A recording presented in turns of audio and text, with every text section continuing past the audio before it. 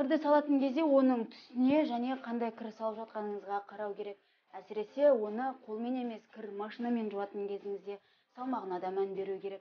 Мәселен айтатын болсақ әдетте күнделікті ә, кір машиналарына 5 келіден артық кір салуға болмайды.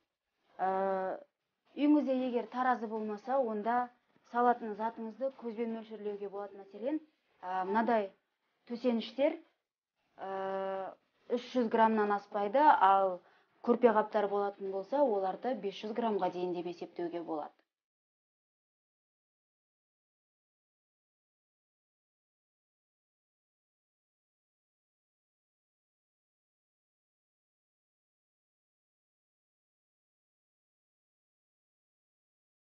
Және де тағы бір айта кету керек.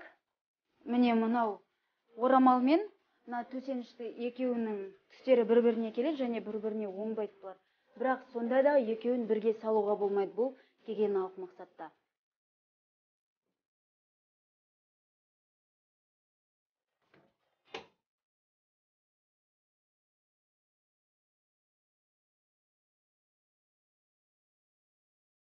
Ал мынадай жеңіл жамылғылардың салмағын бір келі деп есептеуге болады. Оның суға түскендегі салмағын бірге қосып есептейтін болсақ онда шамамен бір жарым келі деп есептеу керек.